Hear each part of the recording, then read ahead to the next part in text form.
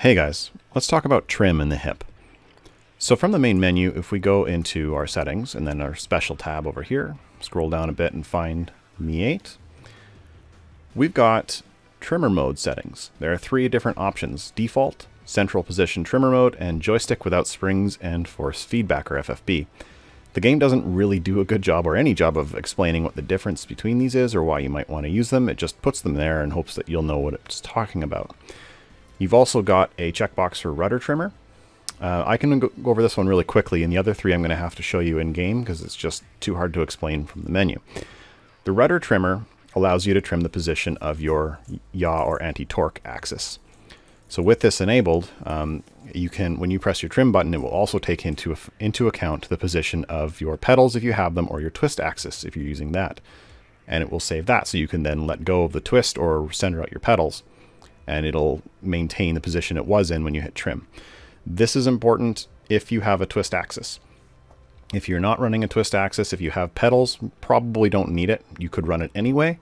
That's totally personal preference. Um, I find that my pedals are light enough that I don't need to, that I just kind of hold them a bit to the left or a bit to the right as I'm flying as needed. Um, but if you use a twist axis, then yes, definitely you want to have this on to save your wrist. It will help you. All right, so the other three, default, central position, joystick without springs and FFB. So default, I'm just going to cover what these are quickly, and then we'll go have a more in-depth look in-game. Default, when you trim, will update the position, or the uh, new zero for your axes, as well as the new relative position of your joystick to that zero point immediately. So it takes effect instantly as soon as you trim.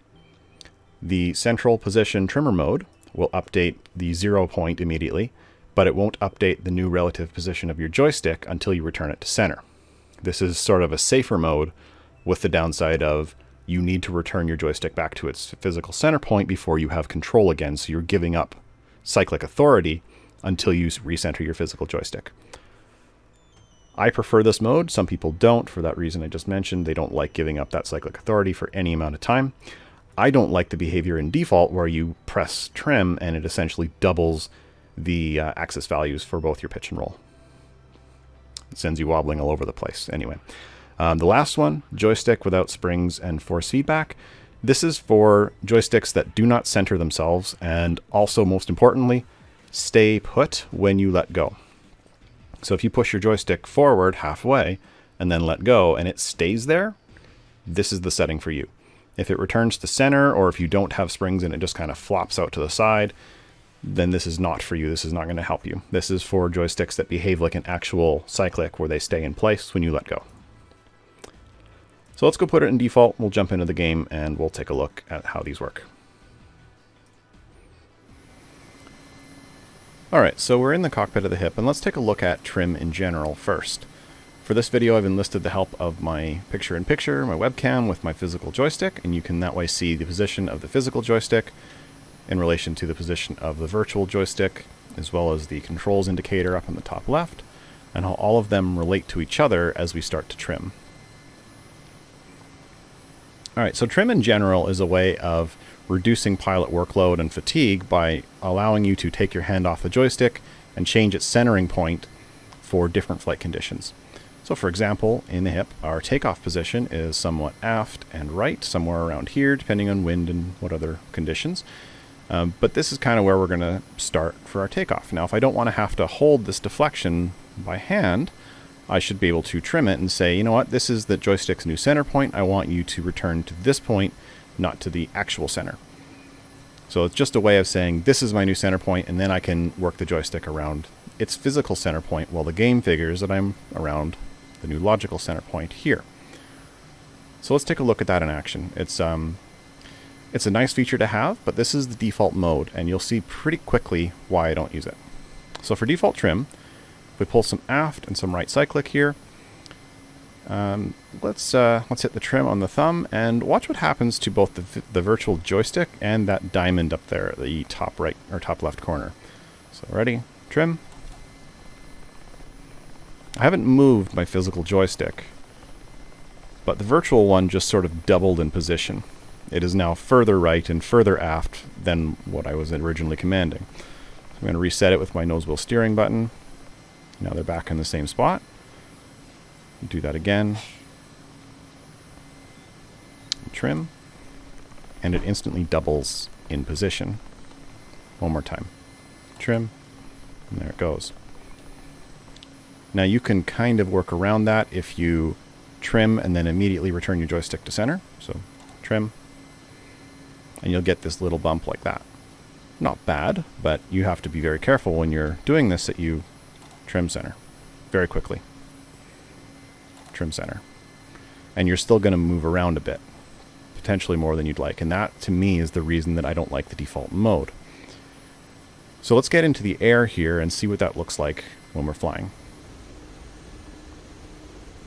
Alright, so we're flying along over Vegas here, and we're trying to get ourselves into a position where the helicopter is relatively stable in forward level flight. And then we're going to trim to that position so that we can take our hand off the joystick and not have to hold this forward and right deflection as we fly, because we're just going to fly in a straight line for a while. So what happens when I press trim now if I'm happy with this position? Trim, and it's nosediving. Because it just doubled the amount of forward stick that I was holding. Now if I let go, it'll return to that position that I wanted, and it should even itself out, and that's great, but I nearly killed myself here diving into the ground as soon as I pressed trim. So let's reset that. Alright, so let's try that again. And this time I'm going to try to return the joystick to center as quickly as I can to avoid that sort of nosedive. So I trim, and then I'm going to return this joystick to center quickly. Trim. It still wobbles around a bit. But if you're fast enough with it, fairly non, fairly uh, negligible. You know, you can work around that, and I think a lot of people are fine with that. But as you make little corrections, you know, say I need to make a little more nose down, and then I double it when I press that. Then I come back nose up, and I double it again. You know, every time I make a correction, it sort of doubles that position of my joystick, unless I immediately return it back to center. So you can get used to this. It's fine but I find that the instant update of the joystick's relative position leads to some wobbling and nosedives and other issues that I'm just not expecting or not ready for. Okay, so let's take a look at central position trimmer mode this time. So the, the basic idea is the same. We have a new center point we want to uh, designate. We want to say this is my new center point here somewhere so I don't have to constantly hold deflection on the stick and I can let it go it will stay there. But the problem with default mode was that as soon as we pressed it, it updated the position of our joystick and kind of doubled the value of our axes. So central position is a solution to that. So if we pull some aft and right cyclic for kind of a takeoff position and then hit trim on the thumb,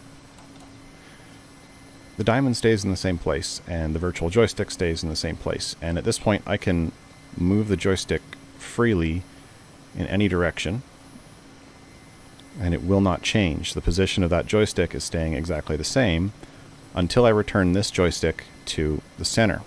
So when I bring it back to the center point, now suddenly it controls where the logical axis is, where the diamond position is. I can go further out and then trim there, and it won't take effect until I return the joystick to center. The advantage of this is that I don't get that weird doubling effect where the value or the position of the diamond suddenly jumps when I trim. Instead, I lose cyclic authority until I can return my physical joystick back to center. So it's a trade-off. I personally prefer it. I find the position that I'm happy in, I trim, and then I let my joystick come back to center. And then I can make little corrections from here. I can come a little bit right, a little bit left, whichever way I need to go, and I can make little adjustments from there but I never have that doubling effect. I never find that my helicopter wobbles or nosedives or climbs rapidly right after I trim, and I don't have to rush to get my joystick back to center unless I require cyclic authority soon. And that's kind of where the downside is for I think people who don't use this is if you happen to be in a situation where you need that cyclic authority back and you can't find your joystick center point quickly, you're not going to get that authority back. So if I trim here and then I can't find the center point and I'm searching for it, or it doesn't register for some reason, some joysticks aren't that precise, you're going to have problems. You're not going to be able to stop yourself from crashing into the ground. So it's a question of preference and it's a question of hardware as well. For me, with this joystick, it's the VKB Gunfighter base with a Modern Combat Pro grip. it's pretty easy to find the center point. It returns right back to center with no dead zone, no issues, and that's great. My previous joystick, the X56, not so much the case. I had a massive dead zone in the center to sort of account for that so that it would, you know, anywhere around here would have, would have counted as center because it was not precise enough to return to its actual center point. All right, so let's get in the air and see how this one works too. All right, so we're flying along here and we're relatively happy with our current cyclic position, but we don't want to keep holding the stick this far forward. We'd like to be able to let go of it. So we hit our trim and nothing moves. Now I can move the joystick around again freely and I have no cyclic authority right now until I bring it back to center and you can see that the helicopter is climbing a little bit. If I needed to say, uh, settle that out or if it were diving right now and I were in big trouble I would have to get this back to center before I had any control. So if I bring it back to the center point, now I have control again. But now I can let go, and we're in our nice stable forward flight here. And then I can make little adjustments as needed. So if I wanted to come nose down just a bit, just retrim it again. And then it'll start to dive. Bring it back up, and retrim it. And I can make these little adjustments as long as I always come back to center after each one. And I shouldn't ever get that weird or that um, intense wobbling that the default mode tends to give you. So for me, this is my preference. I find this much smoother. When I trim, I don't get any unexpected behavior. The helicopter stays where it is. It's just on me to make sure that I get my joystick back to center so that I have authority again over the cyclic axes. Alright, so our third option is for joysticks that don't have a centering spring or um, force feedback. This is basically if you've got a legit cyclic that has force trim and it stays in place and you're using the trim function on the joystick itself to update the physical joystick's physical trim, and the in-game trim really doesn't matter. So in this case, if I put the joystick out here and I hit trim, nothing happens, it just comes back. Because it's expecting the actual joystick to handle trim. As far as I know, the actual in-game trim isn't doing anything. Now maybe it's doing something behind the scenes that I don't know about because I don't have the requisite hardware for, to really test this. But if you had the kind of cyclic that stayed in place when you let go, then this would be the option for you. Alright, now the last thing I wanted to show you was what happens when you have a joystick that has removable springs, but no force feedback, but doesn't stay in place when you take the spring out. So this is my old X56 joystick here that I upgraded um, away from. Uh, and I can do the same thing with the VKB stick here. I can take the springs out of the base and it'll just kind of flop to the side and stay there but it's much faster to show you on the X56. This one actually requires taking out some screws and some springs. This one I can do just by hand in a few seconds. So there's a twist ring here. Joystick comes off. There you go. And there's a snap ring. That comes off, it just slides up. And then here, this is the last part. You separate this part that holds the spring in place and then you can take the spring out. Now the X56 comes with um, four or five different springs, I think, of different strengths, which is actually a really cool feature. It's one of the things that makes this one of the best joysticks on paper before the QA issues. But we can take that out, and then we can put it back together again.